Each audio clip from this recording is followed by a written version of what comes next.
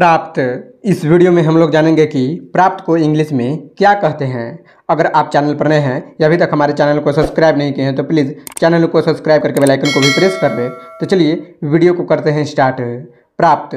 प्राप्त को इंग्लिश में क्या कहते हैं? आंसर, प्राप्त को इंग्लिश में गेट कहते हैं। Spelling G E T get get means प्राप्त।